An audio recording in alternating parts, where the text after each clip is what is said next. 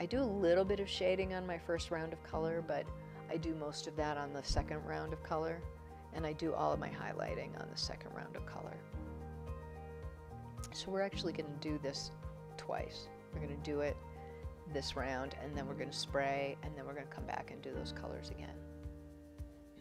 if you're a little bit unsure about your color, always stay to the lighter and brighter colors underneath and then on your second round of color you can always go darker.